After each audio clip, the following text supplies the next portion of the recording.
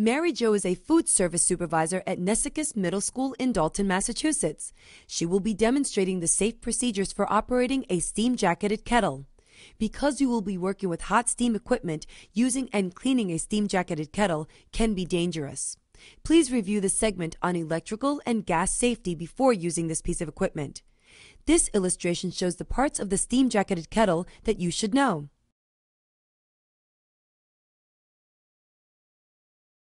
Before using a steam jacketed kettle, you need to follow a few general safety guidelines. Do not wear loose clothing or jewelry because they can get caught in the equipment.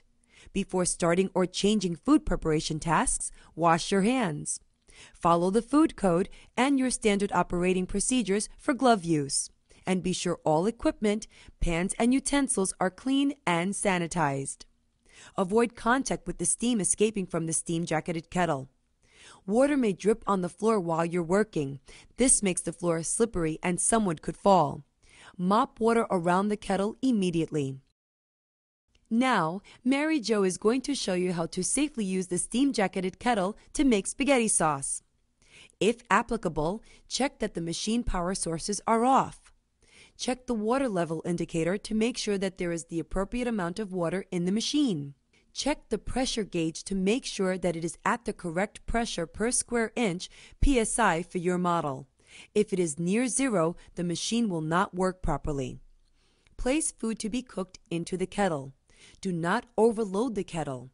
Turn the machine on and turn the thermostat to the recommended temperature. Close the cover. Anytime you open the cover, let coworkers know, carefully lift it standing to the side of the kettle and using the handle to protect yourself from the steam. When done, shut off the machine. To do this, first turn the thermostat off, then turn the power off. Next, Empty the food from the kettle according to the kettle type or standard operating procedures. For a stationary kettle, drain the product through a drain valve, ladle it out, or if you used a basket insert, lift the basket straight up.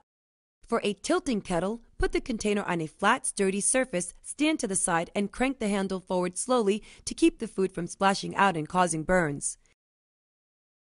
Some food service operations may tilt the kettle forward slightly and ladle the food out into the pan. Safe cleaning directions. When you finish using the steam jacketed kettle, clean and sanitize it to prevent cross contamination. Follow lockout, tagout procedures. Check that the machine is off. Fill the kettle with warm water and allow it to soak while it cools. While the kettle is still warm, pour off or drain the water. Take out the screen. Wash with warm water and mild detergent. Use a brush to clean the drain valve and take out the drain valve parts. Wipe the kettle on the inside and the outside with a brush or cloth. Do not use steel wool or metal sponge. Then rinse the kettle and allow it to air dry. Wash, rinse, and sanitize the strainer and drain valve parts in the three compartment sink. Sanitizing time will depend on the type of sanitizer used. Check your operation standard operating procedures. Reassemble the kettle. If you believe your steam jacketed kettle is not working properly, tell your supervisor.